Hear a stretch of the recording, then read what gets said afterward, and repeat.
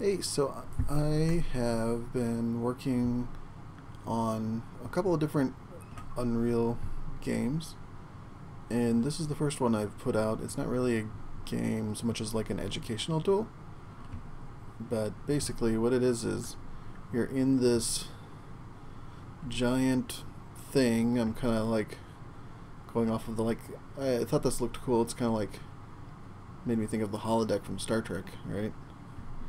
And all that's here is this desk with a computer on it. If you walk up to it, you get this. And it's a way to learn Lua basically. So it'd be like long term the idea being you could like teach kids how to do stuff with Lua. So you can do basic Lua commands. So like uh, global is a variable, right? So S, let's call it S. Um, now, I've got a few functions that I've added. Not many at the moment, but I'm going to add a lot more. So like, let's make a sphere. And so this will make a sphere. And that's a function call like that, right? So the word, the name of the function, and then the arguments. And the only argument you can give it right now, although this will change, is the position for the sphere. So let's put it at 250, 250, 250. So that's your x, y, and z coordinate, right?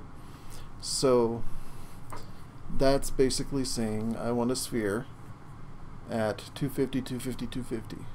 Now these are Unreal's units, which are just centimeters basically. And the desk is centered right at 000. So I do that, and then I can hit evaluate down here in the bottom right, and and then that should have made it. Why didn't it make it? Is it not global? S equals sphere 250, 250, 250. Is that right? Do I not just, I don't, I really don't write much Lua. Oh, there we go. So I guess global's not the word, right word. Okay. So then I'll exit this. And you can see there's this sphere just floating two and a half meters above my little guy here, who's about six foot tall. So two and a half meters is about, well, just a little bit more than let's see, it's about seven and a half feet, I guess. And since I saved it as S, I can do things with S, like move S to like 100, 100, 100. So S is that sphere because I said S equals that the last time around. And these are just different X, Y, Z coordinates. So that'd be more like here. So if I evaluate, there it is. Now it's over here. Um, I can destroy S. And I hit evaluate, and it's gone. No more S. Um, let's see. I have capsules, cones, cubes, cylinders. I've got lots of stuff. Let's do cubes. Oh, and it's a programming language, right? So you can loop. So I can say for, let's do x from 1 to 10, do and then for y, also from 1 to 10, do. Let's do cubes. Um, I'm going to put it way over here, 1,000 plus x times 100, 1,000 plus y times 100. So I'm putting it um, 10 meters off and 100 off the ground. Uh, and then I think you say end. Yeah. So uh, that should give me, there you go. And if I now look over here, you can see they're cubes, but since I don't have any space in them, they kind of look like one giant wall, right? And so this is where it'd be kind of cool. You can basically build any, at the moment just static, and at the moment just chrome, like this. I, everything's chromed. Uh, I'm trying to figure out how I want the material interface to work. Um, so let's go back into that.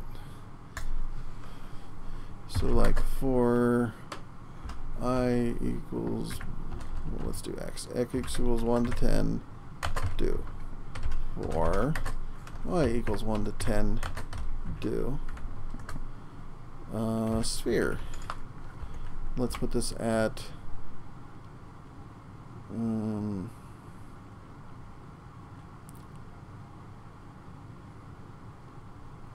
one thousand plus x times one fifty. One thousand plus y times one fifty. And then I'll do it up a bit, so like two fifty. Yeah. And and. So this will put a bunch of balls, also sphere, um, right above that. There you go. Get out of there. You can see, and they spaced them out a little bit more, so you can uh, see all that. And yeah, they're solid, so like I actually can't can't get up there anymore now, can I? Oh, yeah, I can. Okay, cool. And I do have enough where I can get in between. Cool. So I can't walk that way. If I could sidewalk, I could maybe do it. But I can jump up on one and then come back in. So there you go. And I'm going to be adding a lot of things to this. But this is just the first go at it. I was trying to get Fennel working too. It works on my machine, but like for whatever reason I can't get it to um, do the cool stuff. On the builds, the final shipping builds doesn't work. So I might leave it at just Lua for a while anyway because I'm aiming this at not people who've been programming Lisps professionally for years and years like me. And there's a lot more documentation out there on how to do Lua than there is Fennel, that's for sure. Um, let's see. you can get the player position. So this is this will be a fun one. Uh, let's do cube at player position.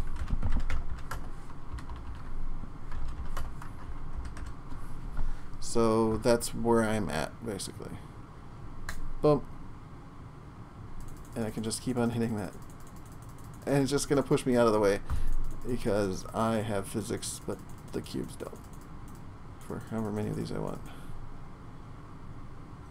Exit that.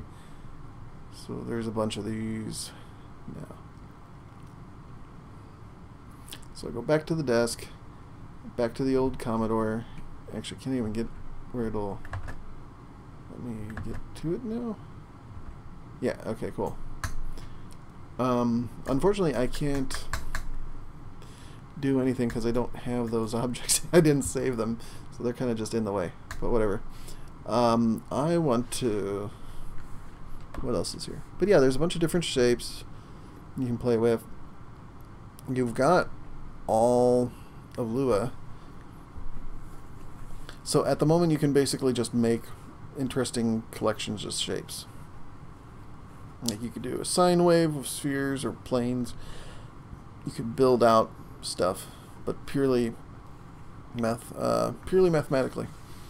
But I'm going to add a lot more to this. And yeah, if you want to have fun with this, it'll be a nice little toy.